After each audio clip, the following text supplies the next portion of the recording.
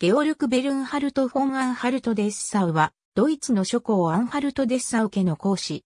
アンハルト・デッサウ公生子フリードリヒと、その妻で、ヘッセン・ホンブルク法伯フリードリヒ5世の娘、アマーリエの間の第三子、次男。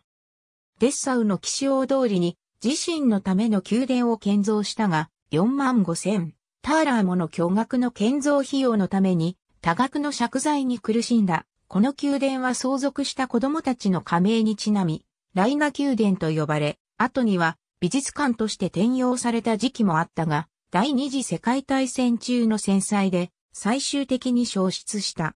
1825年8月6日ルードルシュタットで10枚にあたるシュバルツルード公女カロリーネと結婚。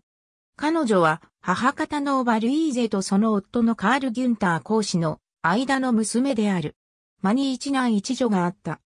最初の妻と死別して2年後の1831年10月4日、ドレスデンで下級貴族の娘、テレーゼ・エンマ・フォン・エルトマンスドルフと再婚する。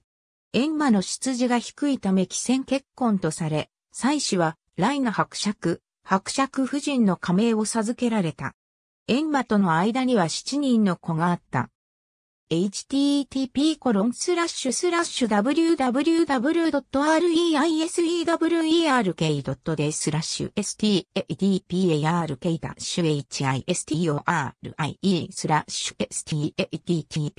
stadtpark イストリエ ebook PDF ありがとうございます。